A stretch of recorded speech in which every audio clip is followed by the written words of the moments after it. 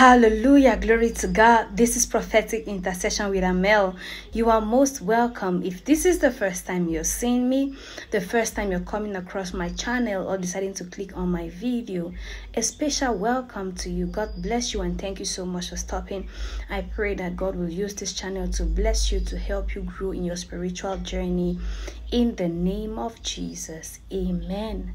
The Lord laid this prophetic word in my heart and I thought to share with us you know, sometimes the people we so badly want to have them as our kingdom spouse are not necessarily the ones that God wants for us.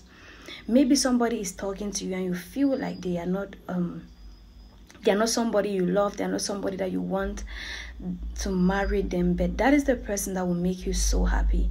That is the person that will eventually give you fulfillment. That's the person that will make marriage worth living for you.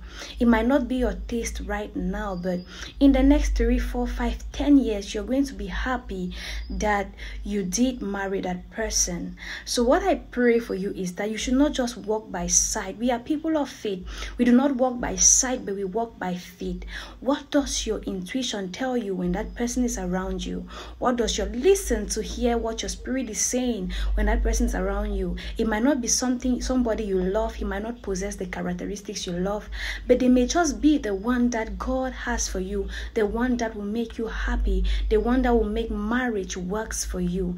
If you just follow your your five senses, if you just follow what you see and ignore what you feel, what God is telling you, you might be in error.